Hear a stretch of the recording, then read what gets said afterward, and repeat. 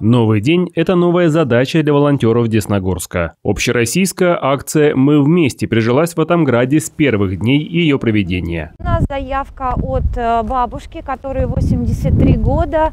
А, естественно, она находится в зоне риска, и ей нет возможности выйти из дома. В условиях предписанной самоизоляции пожилым десногорцам стало особенно непросто. В их числе и Лидия Петровна, в свои годы на улицу она выходит нечасто, а походы, например, в магазин, становятся настоящим испытанием. Я вам позвоню, как мы будем подходить опять.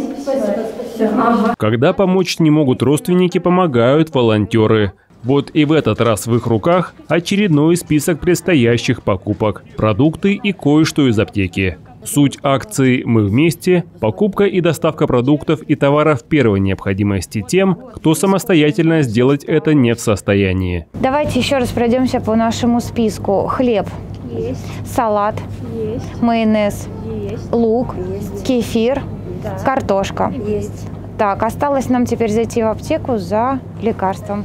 Идем на кассу.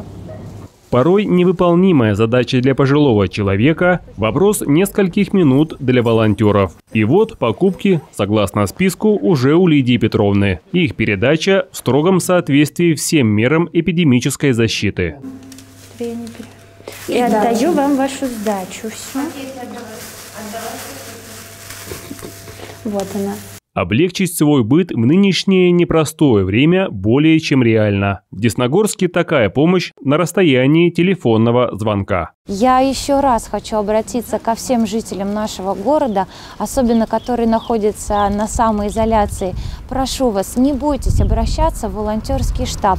Звоните на единый номер, если вам нужна помощь. Телефонный номер волонтерского движения 8 800 200 ровно 34 11. Олег Соловьев, Владислав Полоскин, Десна ТВ.